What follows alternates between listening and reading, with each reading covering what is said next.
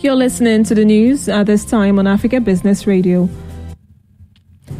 The Trade Union Congress of Nigeria has cautioned Nigerians against taking loans from China. The union stated this in a recent Sallah message jointly signed by the President TUC Quadri Olaleye and the Secretary General Musa Lawal Ozigi.